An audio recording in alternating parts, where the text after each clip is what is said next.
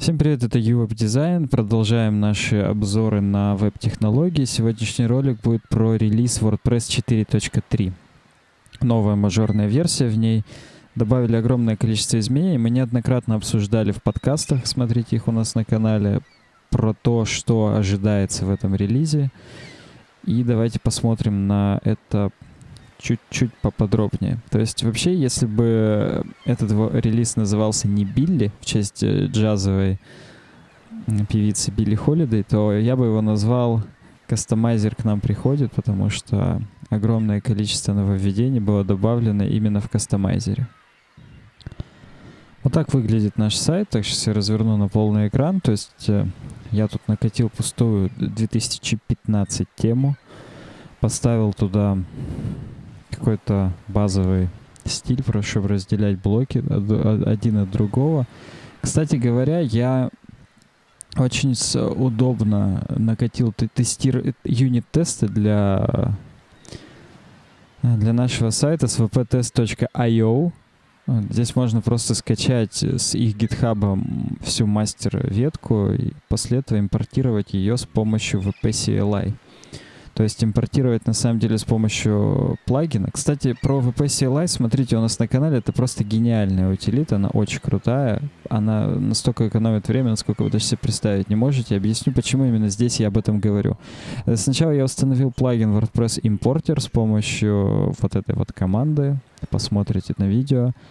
После этого я импортировал, причем просто команда vp import XML и создать авторов, которых не существует.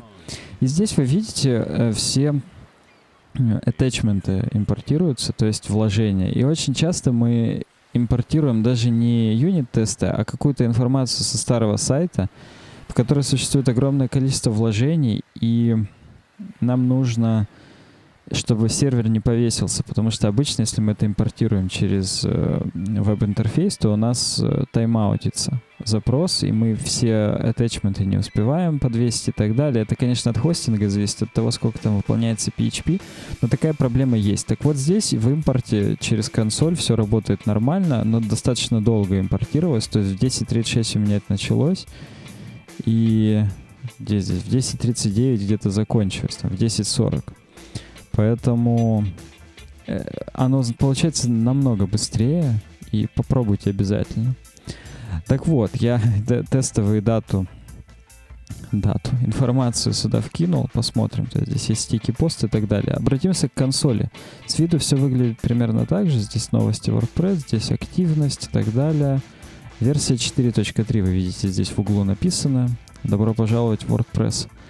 Но если мы пойдем обратно на сайт, то нам бросится в глаза, что появилось меню настроить. То есть давайте напомним, у меня здесь WordPress 4.2.4. Не смотрите на то, что называется 4.2.2, на самом деле он уже обновлен до 4.2.4. Сейчас посмотрим это в админке. Uh, да, вот WordPress 4.2.4. Меня все склоняет обновиться на 4.3. Так вот, здесь раньше было настроить вот в этом меню открывала кастомайзер. Здесь теперь кастомайзер открывается вот этой кнопкой, и здесь почти ничего выпадающим нет. Есть виджеты, есть меню, которые ведут на соответствующие страницы во, во внешнем виде, виджеты и меню. Теперь это можно настраивать в кастомайзере. Первое, самое большое нововведение — это виджеты уже были здесь. Если мы сравним, вот виджеты — это отдельный panel, то есть он вот так на него переходит.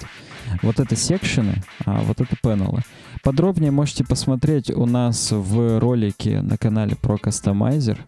Записывали довольно-таки большой. Там а, описывается, как эти секшены и панелы делать. Вот был уже панел виджеты.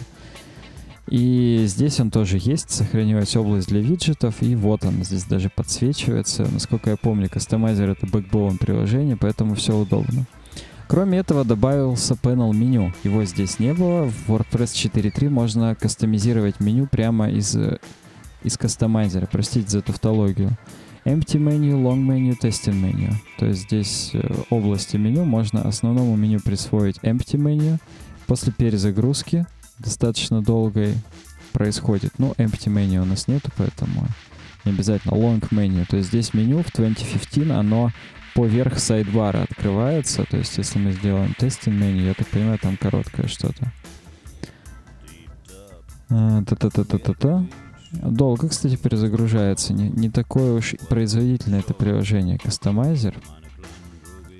Тем не менее, ладно, неважно. Long menu пусть останется. Я хочу покинуть страницу. То есть э, еди... еще что можно сделать, это вот поменять меню. Кстати, если вы обратите внимание, то здесь название описания сайта это section, я уже сказал, выпадающий. Теперь это все панелы. То есть даже цвета уходят на другую страницу. И вы можете видеть, цвета остались те же, то есть здесь 4 э, контрола. Основная цветовая схема, цвет фона, цвет текста, заголовка боковой колонки и, и, и так далее. Здесь то же самое, но открывается уже как панел. То есть они, в принципе, неплохо так это все сделали. Э, в свойствах сайта дополнительно, кроме названия и описания, появился еще один параметр, и это иконка сайта. Про иконку сайта можно очень долго говорить, и скажем только, что она относится и к фав иконке, которая отображается здесь, и к Apple Touch иконке. Я здесь уже загрузил, то есть вот я выберу готовую иконку. Здесь показывается, как это будет выглядеть в иконке на примере Google Chrome, насколько я понимаю, как это будет выглядеть на вашем айфончике. То есть все, вы можете это добавить, сохранить, опубликовать. И после этого, если мы посмотрим сейчас на код страницы, просто где, где же это добавляется, то мы увидим, что это добавляется, как обычно, real icon, там в большом блоке. Так, через э, маленькие, да? Через одинарные кавычки. Нет. Значит, shortcut icon. Нет, real icon. Не знаю, почему не находил. Э, в двух размерах 32 на 32, 192 на 192 в JPEG. Apple Touch Icon Precomposed э, тоже здесь. И MS Application Tile Image это для того, чтобы биндить в Microsoft Edge в 11 Internet Explorer как как закладку. То есть большой квадрат используется 270 на 270. Вот эти четыре строки добавляет вот эта штука. Это неплохое нововведение, особенно с учетом того, что добавляет Microsoft Tile Image, но я вам покажу, как я справлялся до этого. Э, на самом деле есть, конечно, платные темы премиум. Например, тема One, на которую мы делали обзор, тоже смотрите ролик у нас на канале, в которой уже есть прямо в настройках тоже место, куда можно вкинуть ссылки на э, на FAV иконку или на Apple Touch иконку. Но э, если мы используем не премиум тему, а нам нужно что-то сделать, то я вам предлагаю поставить плагин Blog Icons, wp плагин install Blog Icons. Точнее, теперь-то я вам не предлагаю его поставить, потому что уже этот функционал встроен в ядро. С помощью VP CLI это сделать значительно быстрее, чем заходить куда-то там в админку. Если бы я прописал ключ Activate, то плагин бы сразу активировался. В противном случае мне нужно сейчас еще написать VP плагин Activate Blog Icons. Пока он это делает, я зайду в консоль. И во внешнем виде, во внешнем виде уже должно появиться блог Icons. Появилось. Здесь тоже можно поставить ссылки на favicon, на favicon в админке, кстати, отдельно ее сделать, и на Apple Touch иконки, то есть здесь все это есть. Это, кстати, плагин от Yoast, и обновлялся он, если мне не изменяет память, лет 6 назад. То есть очень старый плагин, а функционал такой нужный уже был тогда. Если я посмотрю здесь детали, то... Да, 6 лет назад он обновлялся. Кстати, обзор э, плагина WordPress SEO от Yoast тоже можете посмотреть у нас на канале. Кстати, вскоре, я думаю, я сниму обзор на новую версию, потому что там очень много что изменилось, и плагин нужный, поэтому я думаю, для комьюнити это будет полезно. То есть вот еще один плагин теперь не нужен из-за нововведений. Кстати, плагин Customize Remove All Paths, который добавили совсем недавно в директорию, вы видите, здесь у него всего 16 пятизвездочных рейтингов, но зато пятизвездочный. Так вот, он позволяет выпилить абсолютно все следы кастомайзера из админки. Кстати, один из авторов, Джесси Питерсон, который на Трихаусе ведет Genesis Framework, курсы по Genesis Framework. Такой известный чувак в комьюнити. То есть, если вам, как и мне, например, не очень нравится то, во что превращается WordPress с уходом в кастомайзер, то можно поставить этот плагин. Хотя я, наверное, даже и не буду его ставить, но просто как факт э, знайте, что что это так. И следующие изменения, которые есть в WordPress 4.3, это улучшение в работе редактора Tiny MCE, который, который у нас непосредственно отвечает за редактирование поста в визуальном редакторе. То есть вот этот вот редактор. В нем добавили несколько э, изменений. Например, можно Markdown теперь писать. То есть если я здесь напишу сейчас WordPress 4.3 изменения. Поставлю Enter, он мне автоматически поставит заголовок третьего уровня. Если я сделаю звездочку и пробел, то он сделает список. Не, как это называется, не, неупорядоченный, неупорядоченный список. Иконки сайта, улучшенный Tiny MCE, улучшенная работа с паролями и многое другое. И, кстати, можно даже делать цитаты. То есть, если я, например, поставлю с помощью знака «больше», как на GitHub, вот такую штуку, сделаю Enter, то будет автоматически цитата. Кстати, цитата как раз Билли Холидей, женщина, в честь которой назвали это этот релиз WordPress. Кстати, для ссылок теперь есть всплывающая подсказочка, то есть она позволяет нам перейти по ссылке, отредактировать или эту ссылку удалить. Отредактировать, вот такой поп-ап стандартный редактирование ссылки появляется. Если говорить о об вот этих изменениях, я, если честно, думал, что они коснутся известного плагина Frontend Editor, который позволяет писать посты прямо на, на фронтенде, то есть ты э, пишешь э, пост в, в собственном шаблоне, видишь, как это будет выглядеть. Но почему-то, когда я его активирую, мне пишет, что он работает только между версиями 4.1 и 4.3 альфа.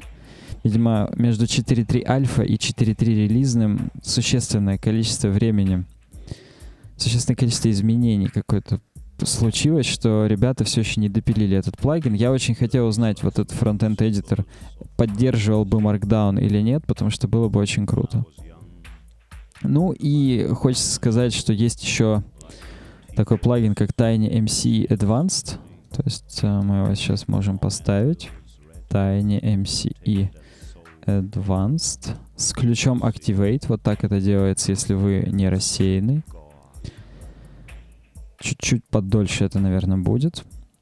Этот плагин добавляет еще огромное количество изменений в стандартный визуальный редактор WordPress, который просто превращает его, ну, почти в Word, что ли. Мы с Никитой в последнем подкасте как раз обсуждали, что теперь у вас будет почти Word, но на самом деле без плагина TinyMC Advanced, наверное, Word не получится.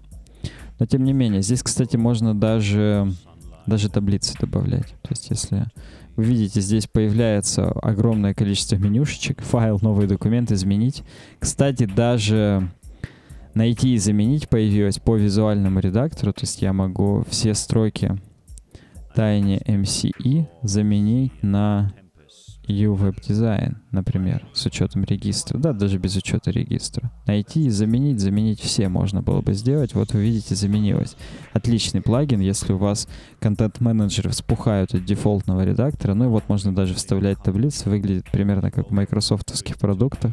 Хоп, сразу готовая таблица. Можете в ней писать что угодно.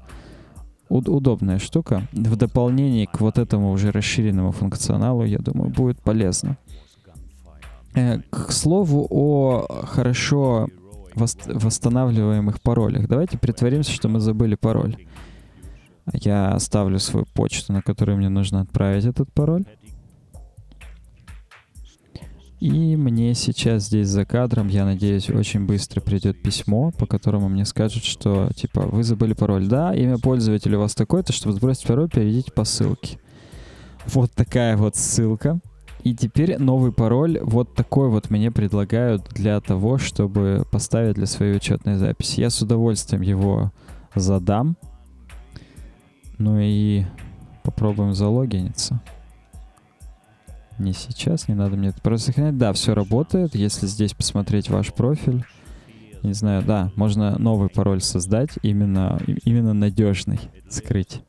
Интересно, если я свой. Да, мой, кстати, классический пароль тоже довольно-таки надежный. Я могу его использовать. В общем, вот такое изменение по работе с паролями. Что касается изменений для разработчиков. Здесь тоже есть кое-что интересное. Например, добавили шаблон singular.php. VP hierarchy template я сейчас загуглю, потому что сайт э, с иерархией шаблонов, вот этот vphierarchy.com, его даже обновили специально под это дело, то есть здесь немножечко изменили стиль, добавили вот этот Singular PHP, который теперь в версии 4.3. Как вы видите, если у вас нету фоллбека для PHP, PHP или Single PHP, то перед тем, как отваливаться до индекса PHP, он проверяет, если есть Singular PHP. На самом деле это очень логичный шаблон, потому что функция из Singular, которая проверяет и посты, и страницы, и посты произвольного типа, она присутствует уже довольно-таки давно в ядре, а шаблон, шаблон присутствует только теперь. Э, кроме этого, был добавлен класс VP Customize Media Control. Э, как я уже говорил, ролик про кастомайзер есть у нас на канале. А в этом классе, на, на самом деле здесь написано, что в 4.2.0, но почему-то во всех э, уведомлениях было написано, что в 4.3.0 его запустили. Так вот, здесь добавили поле аудио, видео и картинки для, для кастомайзера. То есть э, раньше был класс VP Image Control. Вот здесь вы можете видеть проверку. То есть вот здесь type, data attachment type проверяется, и в зависимости от этого показывают разные, разные контролы. В класс VP Customize Image Control присутствовал еще с версии 3.4.0. И сейчас здесь большинство методов уже deprecated, то есть плавно с него съезжают, я так понимаю, на VP Customize Media Control, он такой более полный, включает в себя э, все три типа вот этих вот медиа, видео, аудио и картинки. Так вот, на, вот это, наверное, все существенные изменения вообще WordPress 4.3, которые здесь есть. И как только завершается цикл разработки одного релиза, начинается цикл разработки другого. Поэтому давайте обратимся к посту на VP Tavern, чего ожидать от WordPress 4.4. Смотрим на список, но я так думаю, что здесь вы видите какие-то знакомые вещи уже. REST API, например, все ждут, что войдет в ядро. Я не знаю, до 4.4 успеют допилить или нет. Мне кажется, если REST API включит в ядро, то это уже достойно WordPress 5.0. То есть такой прям самой мажорной версии, но тем не менее Fields API, доработа с кастомными полями, чтобы удобнее написали какую-нибудь штуку. Shortcake UI — это э, плагин, фичер плагин, который уже стал грубо говоря, претендентом на добавление в ядро, который добавляет нам интерфейс для работы с шорт-кодами. Rig Responsive Images — это плагин для работы с адаптивными изображениями, про который будет отдельный видос у нас на канале, он стоит того. И кроме этого, появились первые уведомления 25 августа, это вчера, по теме 2016. То есть в WordPress 4.4 будет тема 2016. И вот э, можем посмотреть уже Темми, это девушка, которая дизайнер этой темы, она уже выложила скрины, как это примерно будет выглядеть. Здесь вы можете видеть, что обычный блоговый шаблон с сайдбаром и контентной областью, которая, конечно, тут немножечко влево-вправо все сдвигается, очень так по-газетному, по-журнальному выглядит. Если вы видите, можно View Full Size нажать, посмотреть поближе, но тут отрендеренный такой макет с черной рамкой. Я не знаю, может быть, больше дизайна как-то получится, хотя, в принципе, сейчас все уходит в стандартизацию и минимализм. Все еще уже так долго уходит, поэтому выглядит, в принципе, вполне неплохо. Э, вот э, по-разному страницы, у них header чуть-чуть другой, есть цветовые схемы, которые можно переключать. И в том числе, естественно, это адаптивно выглядит на телефонах и на планшетах. То есть меню сворачивается в надпись меню. Это сейчас супер модно не использовать hamburger icon, которая, ну, три палочки, а использовать там слово меню или что-то другое, потому что типа hamburger item, icon, она не не user experience, непонятно. В общем, вот такой вот обзор WordPress 4.3 получился. Пишите в комментариях, что вам понравилось, что не понравилось, чтобы сделать обзоры лучше. Мы будем теперь усиленно работать над качеством. И пишите, ждите, ждете вы или нет WordPress 4.4. Ссылки на все плагины на, и на другие видосы смотрите у нас в описании. Удачного всем дня, оставайтесь с нами, ставьте лайки, рассказывайте друзьям и пока.